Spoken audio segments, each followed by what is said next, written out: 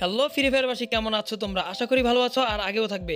বরাবর মতো আজকে আমি অনেকগুলো ইন্টারেস্টিং নিউজ নিয়ে তোমাদের সামনে হাজির হয়েছি। ভিডিওর মূল পর্বে যাওয়ার আগে আমি কিছু বলতে চাই, সেটি হলো আমাদের যে দুই, দুইটি উইকলি মেম্বারশিপ গিভওয়ে করার কথা ছিল, আমি অলরেডি সেটি করে ফেলেছি। আপনারা যারা আমার ফেসবুক পেজের সাথে অ্যাড আছেন, তারা অবশ্যই দেখেছেন, আর যারা দেখেননি, তারা গিয়ে আমার ফেসবুক পেজে দেখে আসুন, কে হলো সেই দুইজন লাকি উইনার যে দুইজন উইনার হয়েছেন, তাদের মেসেঞ্জারে আমি নক করেছি এবং অলরেডি একজনকে আমি গিভওয়ে সম্পন্ন করে দিয়েছি। সেটার পোস্টটা আমি আমার পেজের মাধ্যমে করে রাখেছি। আর বাকি একজন বাকি রয়েছে, সে যখনই মেসেজ করবে মেসেজে রিপ্লাই দিবে।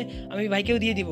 তাছাড়াও গাইজ আপনারা আরও অনেকেই গিবইতে অংশগ্রহণ করেছিলেন, কিন্তু তারা পাননি, তাদের মন খারাপ করার কিচ্ছু নাই, কারণ আমি এই গিবই শেষ নয়, আমি ভবিষ্যতে আরও অনেক গিবয়ে করব।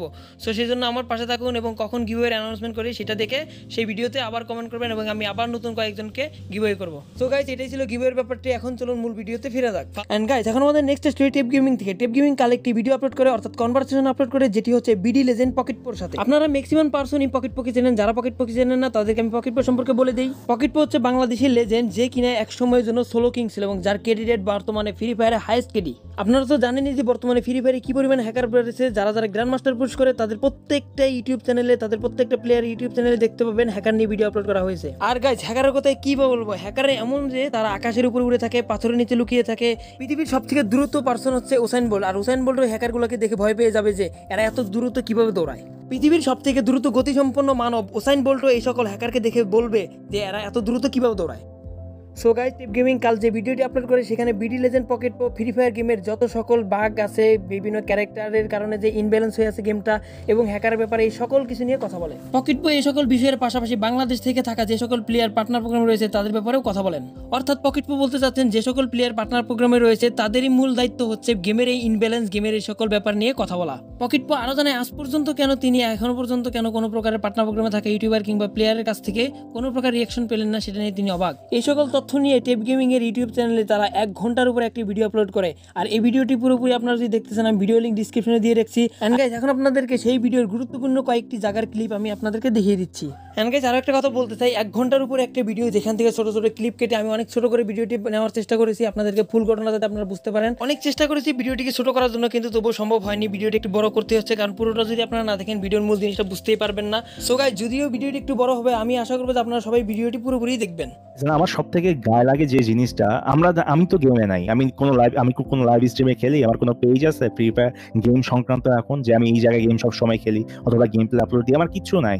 হ্যাঁ? আমি আমি এখন কি এটা আমার দায়িত্ব, যে বলার যে কোথায় কীভাবে গিয়ে রিপোর্ট দেওয়া যায়, কি সংক্রান্ত, কীভাবে লিখে কি রিপোর্ট এটা কি আমার দায়িত্ব? নাকি তাদের দায়িত্ব ছিল যে যদি কোনো প্রবলেম থাকে, এই, এখানে এই বাগটার প্রবলেম অনেক বাগের ইয়া পাওয়া যাচ্ছে কমপ্লেন পাওয়া যাচ্ছে তোমরা এখন ইয়াতে গিয়ে ওই রিপোর্ট অপশনে গিয়ে তোমরা ওইখানে এইভাবে রিপোর্ট দাও এই এই লিখে রিপোর্ট দাও। এটা কি বলো আমার দায়িত্ব? না যারা যাদের অডিয়েন্স আছে যারা যাদের ভিডিও সবসময় ইয়ারা দেখতেছে ভাইরা দেখতেছে সাপোর্ট করতেছে তাদের দায়িত্ব তাদের বলা। এখন যারা দেখতেছে তারা সবাই পার্টনার প্রোগ্রামে গিয়ে বসে আছে। এবং এটা বললেও তো আবার নেগেটিভের মধ্যে পড়ে যাবে ওরা এখন সেটাও বলতে পারতেছে না। তার মানে কি করতেছে ওরা পার্টনার প্রোগ্রামে থেকে? খালি আমি অনেকে যাই দেখছি যাদের মনে করো আছে, যারা বলতেছে, তাদের কমেন্টে সেকশনে যায় দেখবা যে অনেকে যায় অনেক বিষয়গুলো বলতেছে, কেন বলতেছে না, যে হ্যাকার বিষয় বলতেছে না কেন? এই গান স্কিন সম্পর্কে বলতেছে না কেন? ক্যারেক্টার স্কিন সম্পর্কে তোমার বলতেছে, তারা কোনো রিপ্লাই দিচ্ছে না। তারপর কেন তাদেরকে সাপোর্ট করা হচ্ছে, আমি বুঝতেছি না। আর যেহেতু আমাদের কথাগুলো, যেহেতু এই কথাগুলো বললা তুমি, সাইমন ভাই যে গান স্কিন বড় ক্যারেক্টার স্কিল বড় বা ইভেন্টের বিষয়গুলো অনেক কিছু বললাম যে বাগের বলো হ্যাকার বলো এই সমস্ত জিনিসগুলো যে তারা যদি না বলে গেরিনাকে তাহলে আমরা কীভাবে বলব? যে আজকাল গেরিনার কাছে পৌঁছাবে কীভাবে? সেটা একটা মাধ্যমটা বলো। যে এই শুনবে কে? আমরা যে শুনতেছি আমরা শুনলাম তো একটা না দেখো দেখো এখন আমরা যেটা করতে পারি যে ওরা যেহেতু করতেছে না এখন আমরা হয় আমাদের অডিয়েন্স তো এত বেশি না। হ্যাঁ? মানে ওদের অডিয়েন্স বলা যেতে পারে ভালো ভালো আছে মিলিয়ন সংখ্যক অডিয়েন্স আছে ওদেরকে দেখে ওদের খেলা দেখে ভালো কথা।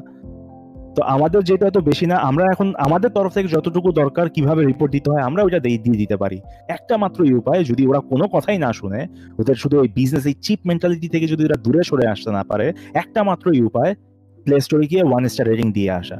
তবে ওয়ান স্টার রেটিং এর সাথে সাথে কিছু কথা লিখেও দিতে হবে, ব্যাখ্যাও করতে হবে। যথার্থ উপায়, যৌক্তিক উপায়, কেন তারা ওয়ান স্টার পাইলো? এটা ছাড়া আর কোন উপায় আছে, রানা ভাই? তবে এখনই ভাইদের ভাইদের জন্য শুধু একটা কথাই থাকবে, এখনই দিও না, এখনই দিও না। আমাদের কথা শুনতেছে আমাদের কথা যে বলছে এই কথাগুলো যে বলছি আমরা যে কথাগুলো বলছি এই কথাগুলা পার্টনার প্রোগ্রাম মে যারা আছে যারা এখন আমরা যেহেতু বাংলায় কথা বলতেছি বাংলায় বাংলাদেশ থেকে যারা পার্টনার প্রোগ্রামে আছে ফ্রি ফায়ারকে রিপ্রেজেন্ট করতেছে এখন দেখো এরা এরা আমাদের এই কথাগুলো শুনে তোমাদেরকে তোমাদেরকে জানাচ্ছে নাকি যে কীভাবে কি কি প্রবলেম এই প্রবলেমগুলো কীভাবে সলভ করা যেতে পারে? এগুলো তোমাদের জানায়, তোমাদের একটা তোমাদের জানানোর সাথে সাথে ফ্রি ফায়ারের যারা ডেভেলপার আছে, ওদের কাছে কথাগুলো পৌঁছে দিচ্ছে কিনা, তোমরা সেটা লক্ষ্য করো। ওরা ওদেরকে আমি একটা কথাই বলছি, তোমরা যদি, তোমরা ভালো কথা তোমরা আমাদের দেখাও, যে তোমরা এই গেমটা ব্যালেন্স ক্রিয়েট করার জন্য তোমরাও কাজ করছ।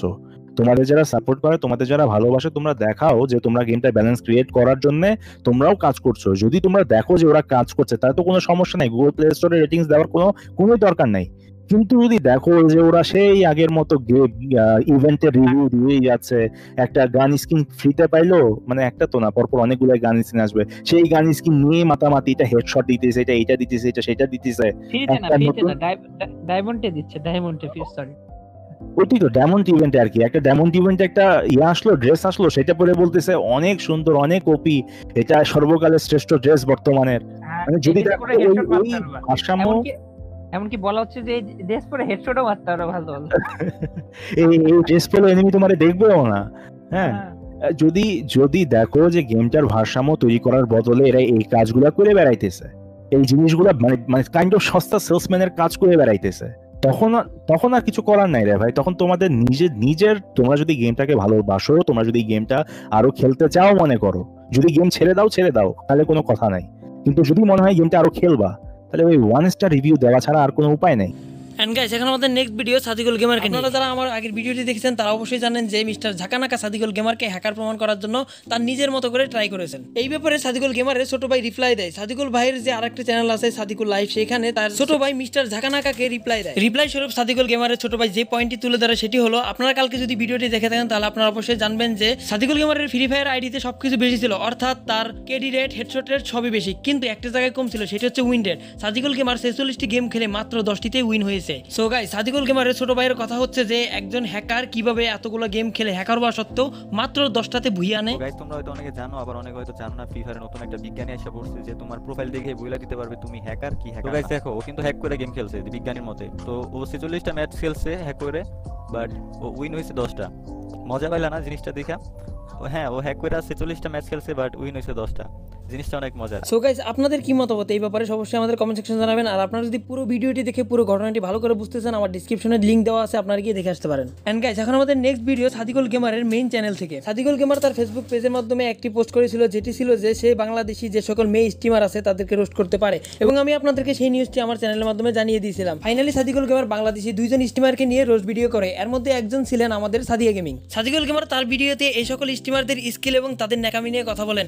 এছাড়াও সাদিকুল গেমার এই সকল স্টিমারদের অডিয়েন্স নিয়ে কথা বলেন, যারা তাদের লাইভ স্ট্রিমে ঘণ্টার পর ঘণ্টা বসে থাকে তাদের ভিডিওগুলো দেখেন। সো গাইস আপনারা যদি সাদিকুল গেমারের রোস্টের ভিডিওটি দেখতে চান, আমার ডিসক্রিপশনে অবশ্যই লিঙ্ক দেওয়া আছে, আপনারা গিয়ে দেখে আসুন। এন্ড গাইস এখন আমাদের নেক্সট ভিডিও টাকিওয়ান ফায়ার থেকে টাকিওয়ান ফায়ার একটি ভিডিও আপলোড করে, যেখানে সে ফ্লেমারকে এক্সপোজ করে। ভিডিওর টপিকটি হলো, আজ থেকে প্রায় তিন মাস আগে যখন ফ্লেমারকে নিয়ে একটি কন্ট্রোভার্সি সৃষ্টি হয়েছিল, তখন টাকিওয়ান ফায়ার তাকে নিয়ে একটি ভিডিও বানিয়েছিল। রিসেন্টলি ফ্লেমার তার একটি ভিডিওতে আগের ঘটনাসমূহের ব্যাখ্যা দেয়। সো টাকিয়ন ফায়ার ফ্লেমারকে নিয়ে যে সকল ভিডিও বা যে সকল টপিকের উপরে এলিগেশন দেয় ফ্লেমার সেই সকল এলিগেশনই মেনে নেয়। দেন টাকিওয়ান ফায়ার সেম টপিকের উপরে আরও একটি ভিডিও বানায়। ভিডিওর সামান্য একটি ক্লিপ আপনারা নিজেরাই দেখে নিন। তো গাইজ আমি একটা কথা বলি যে তোমরা অনেকেই আমাকে ভালোবাসো অনেকে আবার ঘৃণাও করো বা অনেকেই দেখতে পারো না। আমি তো এটাই বুঝতে পারছি না। যখন কোনো ইউটিউবার তোমাকে ক্রিটিসাইজ করে অথবা তোমার এগেন্স্টে কোনো কথা বলে, তখন তোমার কেন মনে হয়েছে সেই ইউটিউবার তোমাকে হেট করে? যদিও আমাদের ইউটিউবে এমন কিছু মানুষ আছে, যারা ভিউজ পাওয়ার জন্য উল্টাপাল্টা কন্টেন্ট আপলোড করে, আর সত্যি বলতে এইসব ভিডিওতে কোনো ধরনের লজিক থাকে না। কিন্তু এগুলো ছাড়াও কিছু এমন ইউটিউবার আছে, যারা তোমাকে ভ্যালিড পয়েন্ট দেখিয়ে তারপর তোমাকে ক্রিটিসাইজ করে। যেন তুমি এই ভুলগুলোকে বুঝতে পারো, আর ভবিষ্যতে এরকম ভুল করা থেকে এক মাইল দূরে থাকো। তো এই তিন মাস আগে আমি ফ্লেমারকে নিয়ে একটা ভিডিও আপলোড করি, যেখানে আমি কিছু ভ্যালিড পয়েন্ট দেখিয়ে তাকে ক্রিটিসাইজ করি। কিন্তু ভাই পাবলিকের মধ্যে কাউকে ক্রিটিসাইজ করা মানে তাকে হেট করা। যাই হোক, তোমরা যদি আমার তিন মাস আগের ভিডিওটা না দেখে থাকো, তাহলে ভাই কোনো সমস্যা নেই। কারণ আজকের ভিডিওতে আমি ইউটিউবে সব দেখাবো, আর এটাও দেখব যে পাবলিক কতটা ইমোশনাল দেখো ফ্লেমারের ফ্যানরা হচ্ছে আমি ফ্লেমারকে হেট ভাই আমি তিন মাস আগে ফ্লেমারের ভুলগুলোকে সুন্দর করে ধরিয়ে দিই? আর এই জন্যই তোমাদের মনে হচ্ছে আমি ছেলেটাকে হিট করি। যদিও ভিডিওটার মধ্যে ভ্যালিড পয়েন্ট অথবা প্রুফ ছাড়া কোনো কথা বলা হয়নি। কিন্তু ভাই পাবলিক এত লেজেন্ড যে তাদের ফেভারিট ইউটিউবারকে নিয়ে যদি কেউ কথা বলে আর ভুলগুলোকে সুন্দর করে ধরিয়ে দেয় তাহলে তারা খুব সহজে অফেন্ডেড হয়ে যাবে। ভিডিওতে ডিসলাইক মারবে আর কমেন্টে চার পাঁচটা গালি দিয়ে চলে যাবে। গাইস এটা ছিল টাকিওয়ান ফায়ারের ভিডিও সামনে একটি ক্লিপ আপনারা যদি পুরো ভিডিও দেখতে চান ডিসক্রিপশনে দেওয়া লিঙ্কে গিয়ে আপনারা পুরো ভিডিওটি দেখে আসুন। ইয়াপ গাইস আজকের ভিডিও পর্যন্ত। আজকের মতো আমি বিদায় নিচ্ছি। আপনাদের সাথে দেখা হবে আরও একটি নতুন ভিডিওতে আরও অনেক নতুন ইন্টারেস্টিং নিউজ নিয়ে। সে পর্যন্ত ভালো থাকুন, সুস্থ থাকুন, আর দেখতে থাকুন DK gaming news channel bye bye guys